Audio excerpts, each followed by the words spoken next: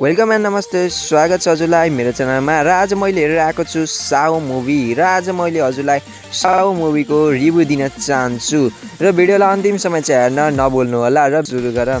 Sao two thousand नाइन्टिनको action drama romantic thrill movie हो र यस मुभीमा हजुरले प्रभास श्रद्धा कपुर निल नीतिश मुकेश ज्याकी श्रफ चङ्की पाण्डे जस्ता ठुला मुख्य कलाकार देख्न सक्नुहुन्छ। र फिल्मका डिरेक्टरका नाम सुजित हुन्। र साओ एउटा सेन्टेन्समा भन्दा साओ एउटा एक्सन सस्पेन्स मुभी हो। र फिल्ममा हजुरले प्रभासलाई मुख्य कलाकारमा देख्न सक्नुहुन्छ भने हिरोइनको रोलमा श्रद्धा कपुरलाई देख्न सक्नुहुन्छ।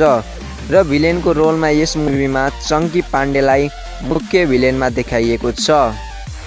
र फिल्मको लाइन स्टोरीको लाइनको कुरा गर्दा फिल्ममा सुरुमै दुई हजार करोड को चोरी हुन्छ र फिल्ममा ग्याङ्स्टरहरूले एउटा ब्ल्याक बक्सको लागि खोजीमा बसेका हुन्छन् र फिल्ममा त्यही ब्ल्याक बक्सको लागि जो फिल्म सुरुदेखि लास्टसम्म देखाइएको छ र फिल्ममा हजुरले प्रवासलाई फर्स्टमा पुलिसको रोलमा देख्न सक्नुहुन्छ भने सेकेन्डमा चोरको रोलमा देख्नुहुन्छ र लास्टमा हजुरले उहाँलाई मेन भिलेनको रोलमा पनि देख्न सक्नुहुन्छ।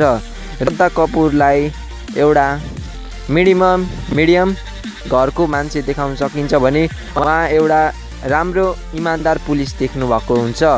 र र फिल्ममा हजुरले प्रवास र श्रद्धालाई एउटा मिसन दिएको हुन्छन् र त्यही बिचमा प्रवास र श्रद्धाको बिचमा लभ परेको हुन्छ र त्यसपछि प्रवासलाई सेकेन्ड इन्टरभलमा चोरको रूपमा देखाइएपछि श्रद्धा कपुरले प्रवासलाई मार्न भनेर प्रवासलाई खोज्न गएका हुन्छन् र त्यसपछि पनि श्रद्धा कपुरले प्रवासको लागि पुलिस ड्युटी छोडिदिएकी हुन्छन् र त्यसपछि प्रवासलाई एउटा ठुलो ग्याङ्स्टरको रूपमा देखाइन सकिन्छ र फिल्ममा प्रवास र ज्याकी श्रफको बिचमा एउटा बाउ छोराको रोल देखाइएको हुन्छ लास्ट सिनमा।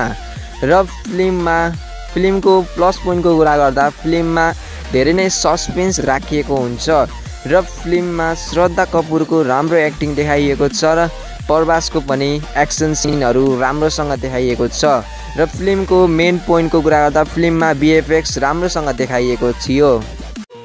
र मेन भिलेन चङ्की पाण्डेको डाइलग डेलिभरी धेरै नै दमदारसँग देखाइएको छ भने चक्की पाण्डेको सिन धेरै नै डेन्जर राखिएको थियो र निल नितेश मुकेशलाई पनि सुरुमा चोरको रूपमा देखाइएको भने देखाइएको थियो र त्यसपछि पनि उहाँलाई पुलिसको रोलमा देखाइएको थियो र निल नितेश मुकेशको पनि डाइलग डेलिभरी राम्रोसँग देखाइएको थियो।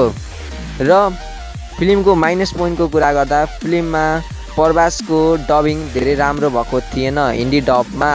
र प्रभासको डाइलग धेरै नै कमी कमी भएको थियो डाइलगमा र फिल्मको गीतलाई राम्रो रेस्पोन्स पनि नपाएको र रोमान्टिक र इमोसनल गीत पनि यस मुभीमा नराखिएको थियो।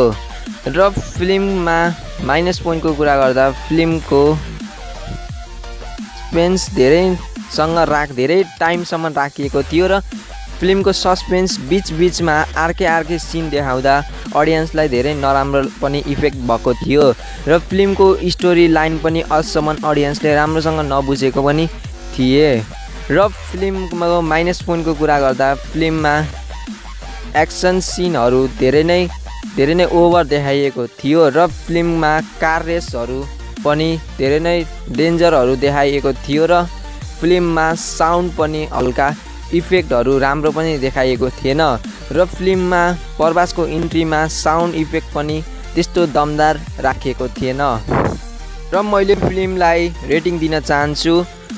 Two point five out of five र यो movie all over entertainment movie हो र हजुरलाई धेरै नै मनपर्छ र हजुरले दिमागमा केही माइन्ड फ्रेस गरेर यो मुभीलाई हेर्न सक्नुहुन्छ किनभने यस मुभीमा हजुरले धेरै सस्पेन्स देख्न सक्नुहुन्छ भने यस मुभीको स्टोरी लाइन राम्रोसँग बुझ्न सक्नुहुन्न।